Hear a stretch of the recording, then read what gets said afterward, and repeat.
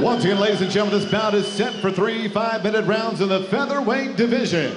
Introducing first, fighting out of the blue corner, he is a brawler standing six feet, one inch tall. Weighing in at the featherweight limit, 146 pounds. His professional record stands at 13 victories and five defeats. Fighting out of Malmo, Sweden, here is Martin, the Big Swede Svensson.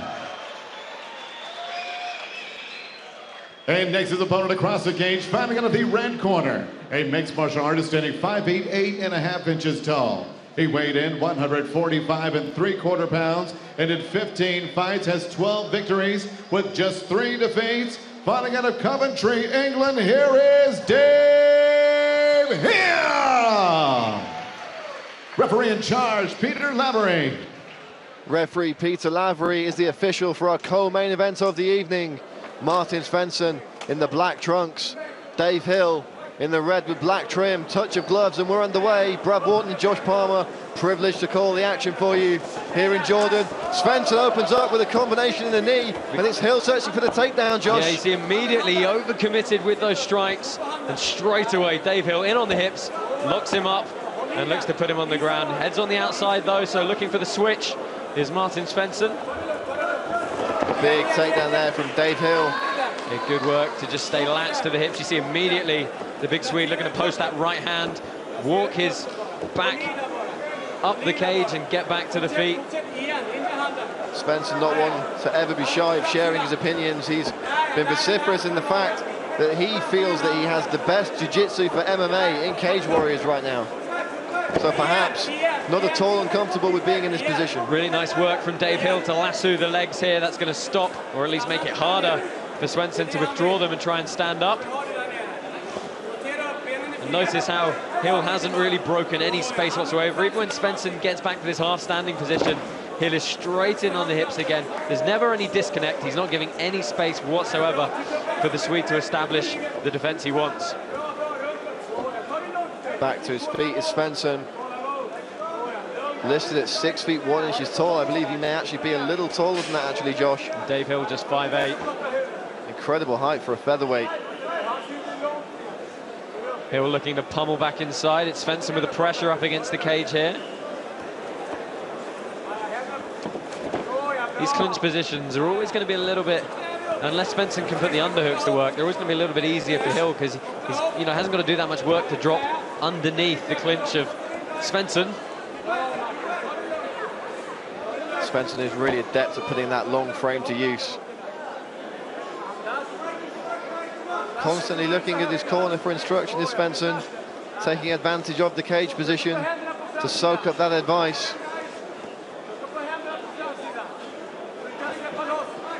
And it's a battle for clinch control here. Dave Hill trying to get the head to use, being shorter, he can get up underneath the chin of Svensson and try and off-balance him, but they're just pummeling here. That's where they're, they're lassoing their arms in and out, trying to establish that dominant grip that's the underhook. And Dave Hill bails out to guard here, looking for an armbar. now inverted guard. Really is a very attritional position. That 50-50 clinch up against the cage. Doesn't look like they're exerting a lot of energy, but it's constant, unyielding pressure against your opponent. Oh, and Hill's got to be careful not to give his back here.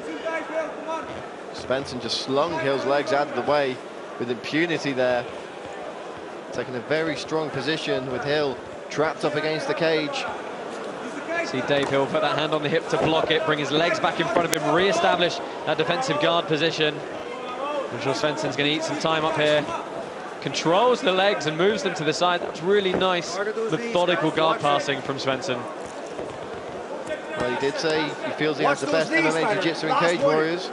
I know another Cage Warriors featherweight, Alex Enlund, had something to say about that on Twitter earlier this week. Joining the conversation yourselves on Twitter, use the hashtag CWFC71. We'd love to hear your thoughts on this fight, any others from the evening, and of course our huge main event coming up shortly on Cage Warrior 71. You see, this will make it harder for Martin Svensson to keep Dave Hill here, those longer limbs. It does make it easier for the smaller man to shrimp, get on his hip, and work his legs back in front, just as you saw Dave Hill do that.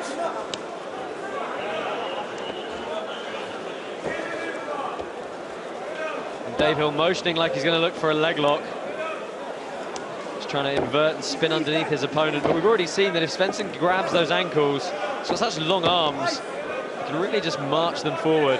Svensson steps back, allowing Hill to get to his feet. And we're back where we started.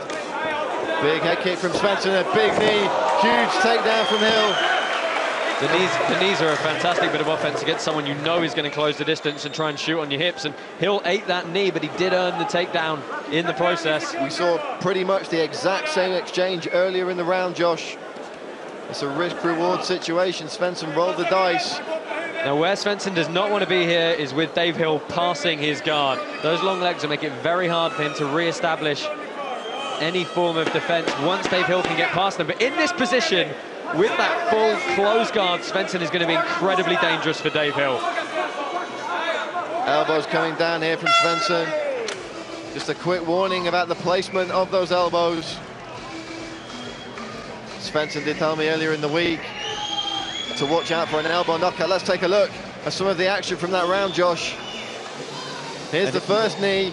See, he charges forward and Dave Hill just goes back to what he knows, grabs a hold of the hips. This was a good period of pressure for Dave Hill. Didn't let up, kept dropping his man back to the canvas, but of course, he had to think so much about keeping him there. He wasn't able to get any offense off at all. Great work by Svensson there to get in close. I mean, someone of Svensson's limb length really does pose a very difficult problem for a lot of grapplers. You see him making use of it there with the head kick. Another beautiful takedown there from Dave Hill. Tried to step over into Matt, didn't quite get it. Cage Warriors welterweight Tom Breese in the corner of Dave Hill. Expect Tom Breese to be back in the cage sooner rather than later. As we're about to get this second round underway here in Amman, Jordan. Martin Svensson, Dave Hill, second round. No touch of gloves, straight back to the action. Svensson already launching those knees up. We see Svensson do this a lot with those knees. Immediately Hill dives in, blocks the hip, turns the corner very nicely to complete that takedown. He's looking to pass here. He does not want to be tied up in the full guard. Now, that's a very nice pass attempt from Hill. He's trying to trap... Well, I didn't quite see what happened in that scramble. I believe Svensson was looking to set up an omoplata. And he's come out on top of the scramble, Josh. Yeah, didn't have the best angle there, but he's got a really strong top half guard here. Dave Hill was in the process of setting up a really nice pass, and Svensson just uh, countered straight away. Nice Kimura threat from Svensson allows him to backstep that hip and get another good side control here. See how he opts to keep both knees up rather than really flatten out. Allows him to be just a little bit more mobile, but it does mean your opponent doesn't have to carry as much of your weight.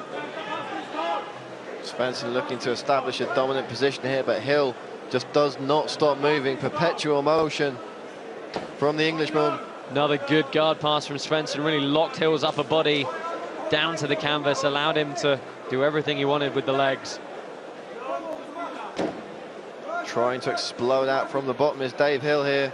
Again, we see Hill trying to re-establish this guard. It's, you know, because he's, he's such, so much, uh, sorry, so much smaller in relation to, to uh, his opponent. It's easier for him to sneak that near side knee back in front of the body of Svensson, but the Swede doing a good job of shutting it off there.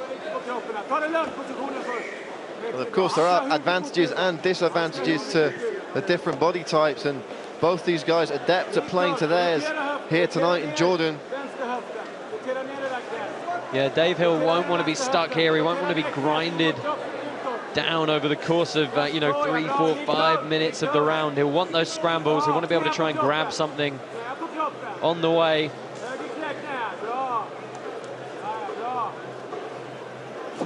Svensson's corner seeming happy with his work at this point in the fight at least. Yeah, I mean, the thing is, Dave Hill's been so active in trying to replace that guard that Svensson's having to spend all his time merely just maintaining that side control position and constantly defending the attempted guard retention efforts of Dave Hill. It's really stopping him from landing any ground and pound or any submissions of his own for that matter. Hill scooting forward. Referee Peter Lavery puts him back on his feet. Svensson taking the centre of the cage now. Svensson does this funny thing with his lead leg that he leads it, he lifts it up almost like a block or a knee. Doesn't leave his chin up in the air when he does it though. Hill with an overhand right immediately changes levels for the takedown. Svensson defending as best he can against the cage.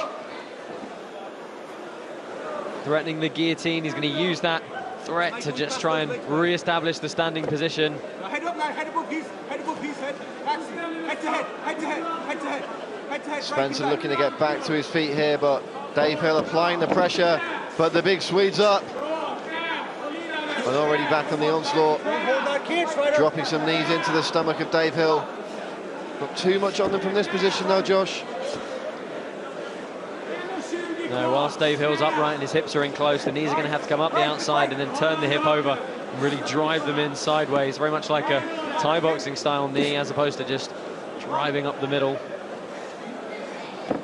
Well, Josh, going into this fight, we knew whatever happened, it would be a battle, and that's exactly what we're seeing here. A real war of attrition between Dave Hill and Martin Svensson here at Cage Warrior 71. It's a very grinding and grueling battle, and Martin Svensson was able to counter Dave Hill in the takedown there, earned himself a mount, but I mean, that's a mark of a good professional fighter there from Dave, who you see how quickly he didn't let Svensson establish that mount position, immediately made him work for something else. I mean, that's the thing. It's it, you know, whilst it, it's not great to be underneath your opponent the whole time, you can really limit any damage you sustain by constantly moving, constantly trying to defend, and constantly trying to get out.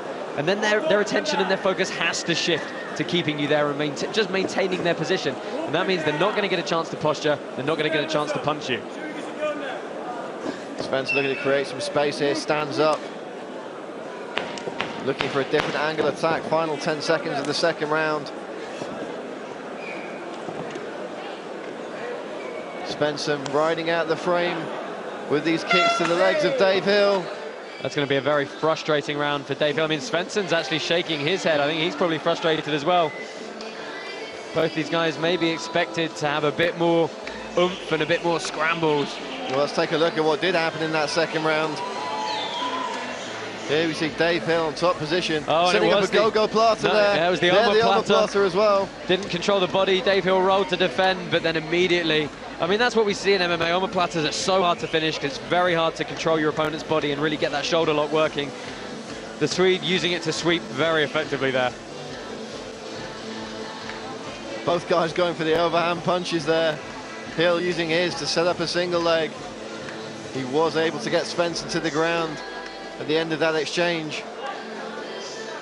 I think the judge is probably going to see that one the way of Martin Svensson as well. I mean, it's, it's going to be close to call here. And talk about the psychology, Josh. We saw at the end of that break, Hill already on his feet, bouncing on his toes, staring at Svensson. Svensson still sat on his school, perhaps looking for a psychological advantage there is Dave Hill. We know both these guys can go three hard rounds. Yeah, I mean, if you can look across at your opponent and say, hey, I'm still here, I'm not tired, I'm ready to go a full five again, and really come out with some intention, you can change the entire complexion of the fight very quickly. Both men swinging there. It's Svensson with a takedown. Good body lock from Svensson. Spent some time with Martin Svensson earlier in the week, and he said to me he wants a finish. He wants a spectacular win. He wants to prove to the Cage Warriors officials why he deserves that title shot above anyone else. Dave Hill looking to try and re-establish his guard position again. Svensson keeping it honest with these punches as he looks to get oh. past the guard. Nice bit of legwork from Svensson. Might find his way to a mount here. There we go. Full mount for Martin Svensson. Sinks his hips in very low. Hill active off his back though. Immediately trying to get out. Establishes half guard. Again, very good work from the Englishman. Didn't give the Swede a, a single moment to really establish that position. Oh, lovely backstepping pass, though. Great work from the big Swede here.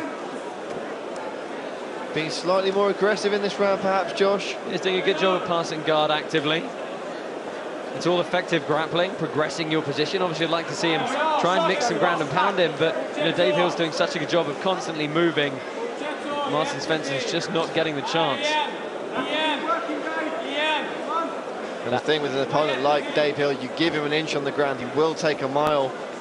He'll initiate the scramble. That's not what you want to be doing Oh, with Hill. Looking for a sweep here. Yeah, he had the head and arm. An awkward position, looking for a triangle very quickly, and immediately Svensson backs out. Hill trying to butt scoot forward here. I mean, maybe let's try and instigate the leg locks. They are very long legs of Martin Svensson.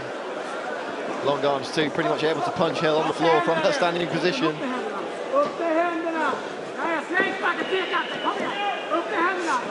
Will! Svensson be able to time a knee on Dave Hill? Oh, Hill going searching, hauling that single leg back in.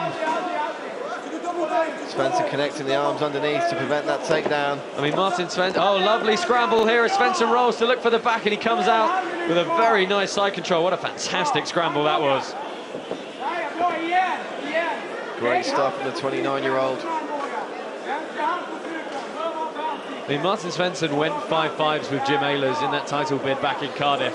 So we know he can go the full fives. Struggled early in that fight, but came on strong towards the end. Three rounds shouldn't be an issue, but a very, very torrid pace being set by these two young men in the grappling here.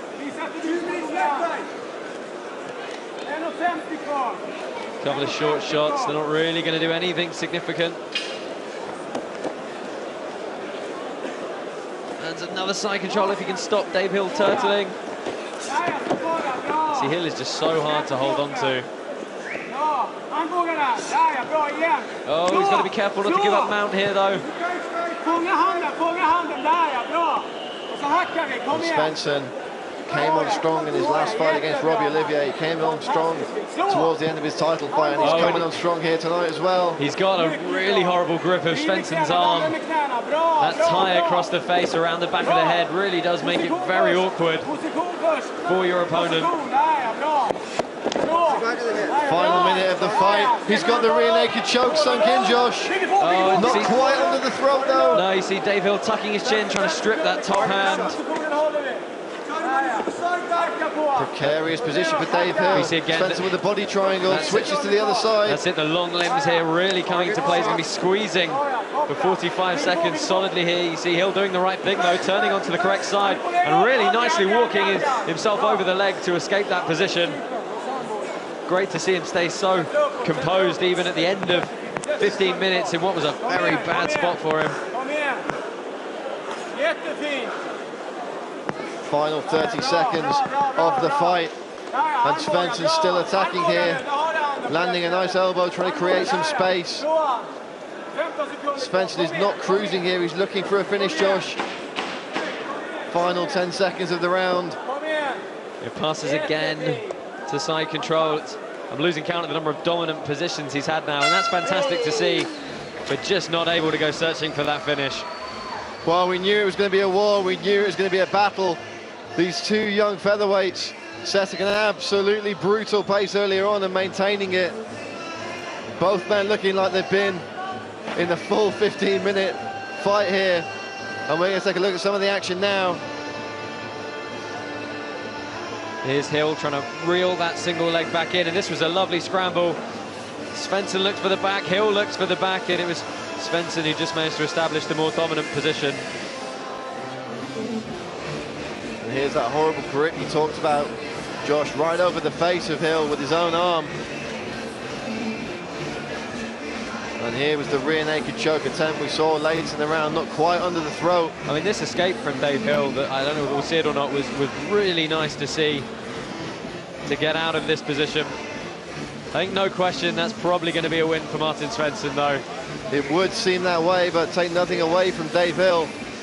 A fine performance from both these young men. We're going to throw it to Joe Martinez in the cage to make it official.